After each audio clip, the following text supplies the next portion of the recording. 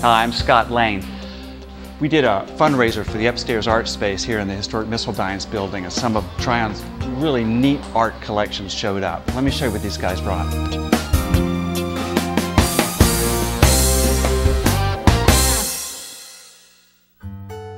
Hi, my name is Alan Peoples. I moved to Tryon in 1979 as a principal of an elementary school. Shortly thereafter, to continue my interest in history, I started collecting anything I could get from the town of Tryon. If you will look, you'll see my collection here to my right and behind. It's a small indication of what I do have. Here you have about turn of the century, you have a blown up postcard that had the original Tryon Bank in it, and that's now the Tryon Daily Bulletin office.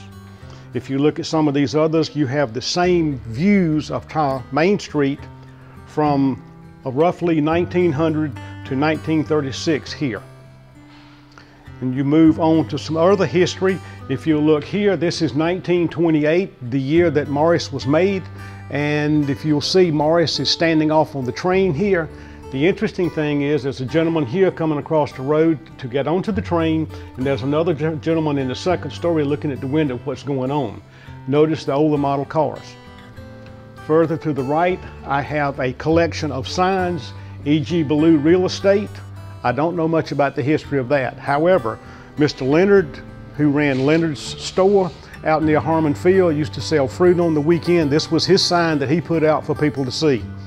Below that, is the Tryon Gas for Less sign. I bought this in 1983 from two people who were hauling it to the junk shop and paid them to deliver it to my house. Further to the right, you will see Tryon first, then C.J. Lynch for real estate. It can be done. Charlie Lynch was well known in this area. He was a realtor, and we know that this sign is probably from the 20s or the 30s. To the right of that is a sign, excuse me, is an oil by John Rosmini, And this one shows his influence, or rather the influence on him by Picasso, who was a friend of his. Further to the right is a picture of the Tryon High School Tiger that someone commissioned back in the 70s. I was able to buy this at a garage sale. That's an original watercolor. Back further here to the right is a printer's tray that came from the Tryon Daily Bulletin when they remodeled years and years ago. Below it sits a chair that came from the Sunnydale restaurant. I was able to get that and preserve that piece of history.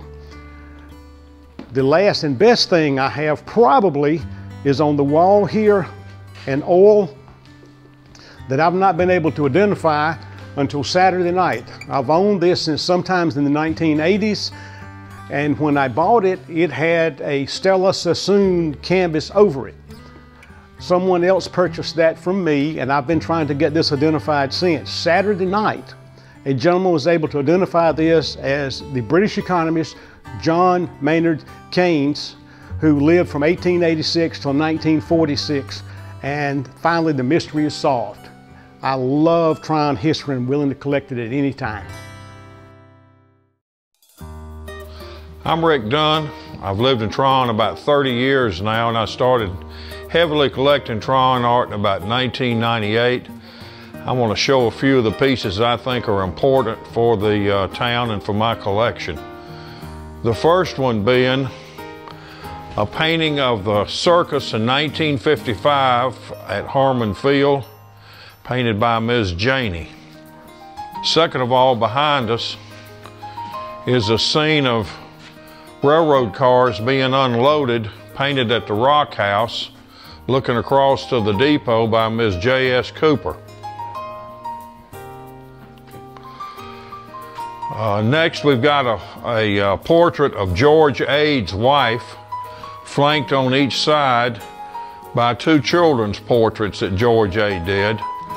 George Aid's wife went to Converse College. This is a painting of the Tryon Country Club painted by Rule Tuttle in 1922 after he had finished a round of golf. Here we have a bronze done by Erskine that was found in New York City. And Erskine at one time had his studio there. Next is a painting with cattle by Cruz, and Cruz was famous for making photographs and black and white uh, postcards in Tryon.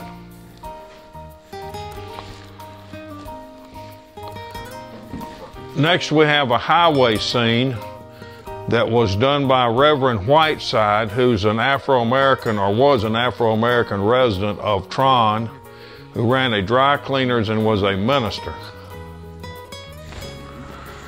And last of all is a Lawrence Mazzanovich painting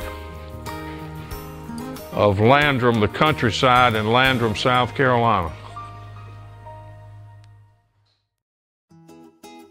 Hi, I'm Kim Nelson, and my husband and I own and run Skyuka Fine Art, uh, a gallery here in downtown Tryon. We've lived here for 10 years, and our gallery's been open for about four years now. And we're very honored to have been asked to participate in this show here at Missildines by the Upstairs Art Space. Uh, we show living artists. We clearly represent living artists here, but this was also a nice bridge and opportunity to have other artists come in that we don't necessarily represent, uh, especially Will Behrens here, this sculptor. Uh, Will Behrens uh, grew up here, lived here all of his life, uh, but he doesn't do gallery work, but he's a, a world-renowned sculptor. Uh, so he was willing to bring in a couple pieces for this exhibit, and it is very special. But I'd like to show you some of the other artwork that we represent. Of course, my husband is our main anchor artist. Um, he's a portrait artist, but also does landscape and still life. And everything you see here is of the area. Um, every single painting is somewhere in Tryon or, or the surrounding areas, um, Polk County, but mostly Tryon. And uh, Keith Spencer is also another artist that we show, and he, we're currently uh, running an exhibit at our gallery called Grounded in Color. And so uh, we have many, many pieces by, by Keith, new, new pieces. Uh, in the past also, we've had some artists come and visit us, and while they were here, they painted um, some scenes of Tryon. So we have Michael McNamara here doing a downtown Tryon scene. And next to that, we have Gary Cooley, who did Side Street Pizza, which everybody knows and loves. Over here, we have Monica Jones, and she makes jewelry, handmade jewelry. We have a lovely Blue Ridge Mountain scene necklace here. We have another sculpture by Will Behrens. And this happens to be a painting that my husband did on the Behrens property. So it's called View from, uh, from Behrens. And it's in an antique frame that we picked up at a garage sale here in Tryon. Through this way, we have some more Keith Spencers. And then on this wall, we have a fantastic Michael McNamara. And while he was here, he painted in Gillette Woods. And that's the view going out towards Columbus there. And down this way, we have some more Keith Spencers. Some beautiful examples uh, at Pearson's Falls. But then in the center here, we have a portrait of our daughter that my husband did. And it's an award winner with the Portrait Society of America, their international portrait competition, uh, as well as being a finalist in the Raymar art competition right now. And it happens to have been painted right in our own backyard in Gillette Woods. My name is Chris Armbrust. I've lived uh, in Tryon permanently for 11 years, uh, but have spent summers here for 41 years. Um, became very interested in the area's culture and art early on and began purchasing pieces as they were available. And they've come from a range of places, private collectors, uh, yard sales even.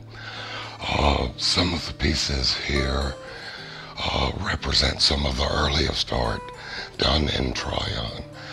A piece that I purchased early on is by Emma Payne Erskine, who did a great deal of painting.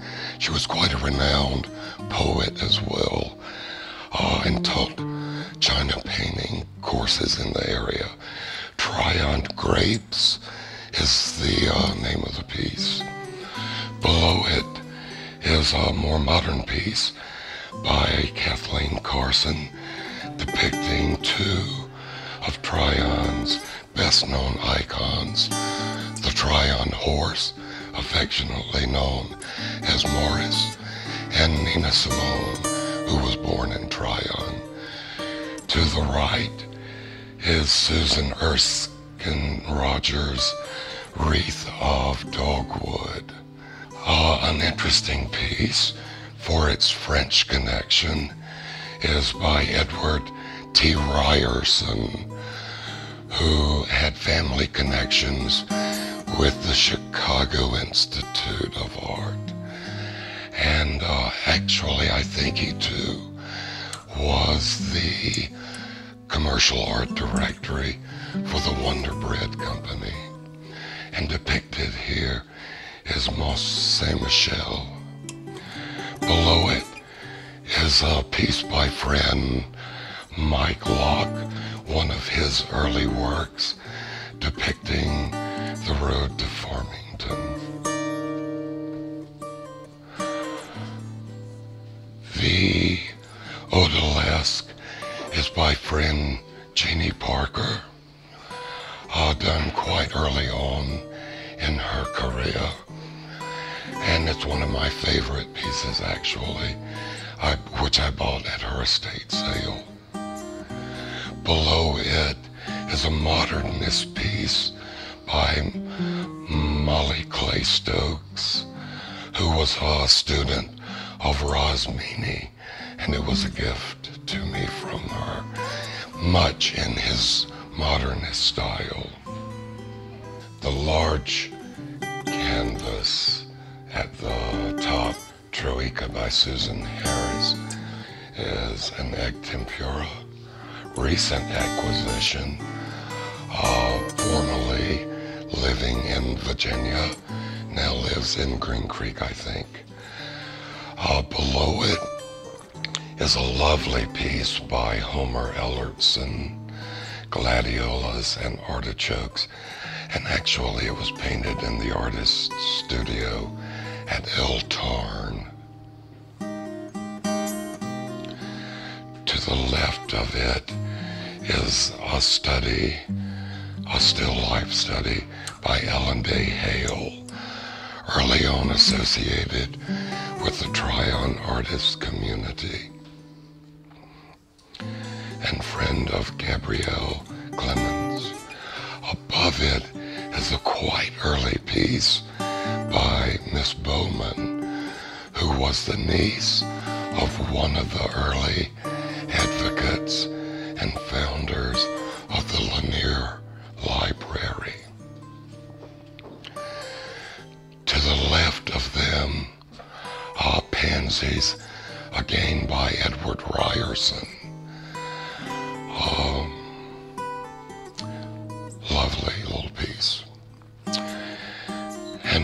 The bottom left, a woodcut, quite large woodcut, by Charles Quest, who's is principally known for his woodcuts, though many examples in other collections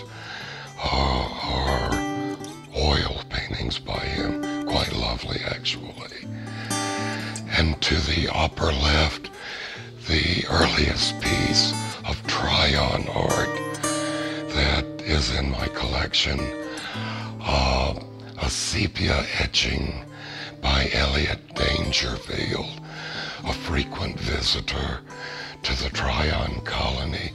This piece done in 1873. What's always fascinated me about the whole process actually is that each of the canvases represents a captured moment in Tryon history, in a, an artist's mind, and in our community's artistic life. Thanks. Hello, I'm Noel Guffey. I moved to Tryon in 1972 because I loved the, the little town. I still love it today. Uh, my business started as a hobby, which is Foothills Fine Art, and that hobby became a passion and a collection. So not only do I collect but I deal in fine art. One of the loves uh, is just the history that's involved with these artists and also the, uh, the variety of art that they did. Here's one example, Elizabeth Paxton Oliver, and this is very atypical. Normally, people think of her, they think of her birds, and this is a wonderful still life that she did, and I was drawn to it because it was atypical.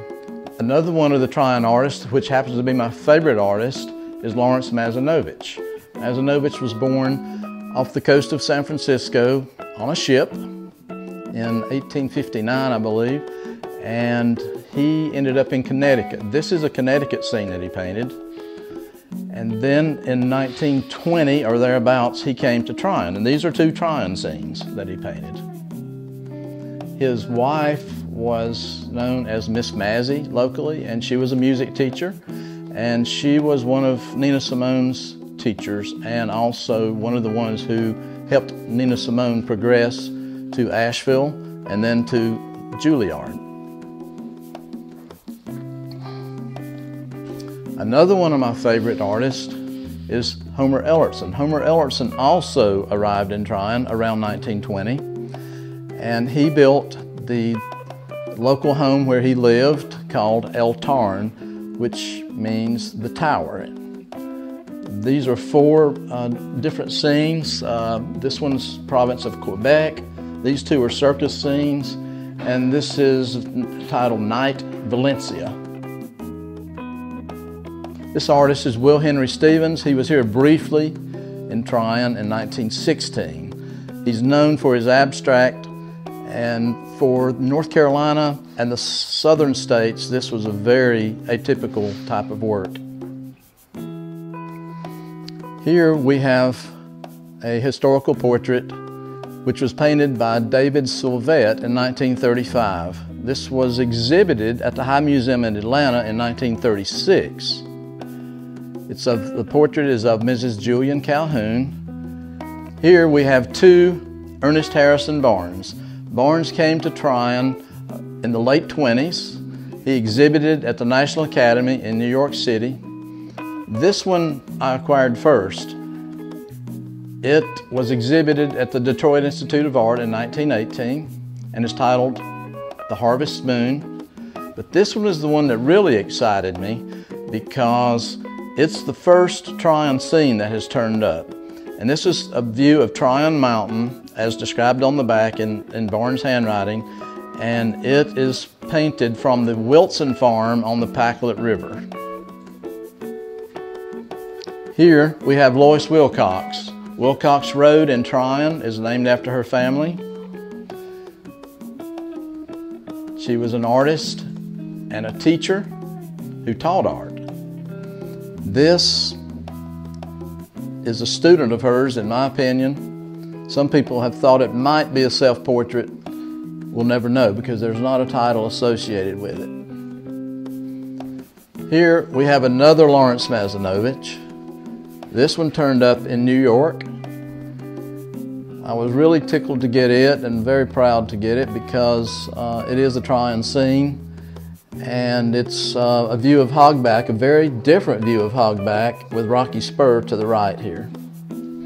Here we have Charles Quest, who moved here in 1970. He and his wife Dorothy, who was also a very fine artist, fell in love with the area. They came from St. Louis, where Charles was the art professor at St. Louis University.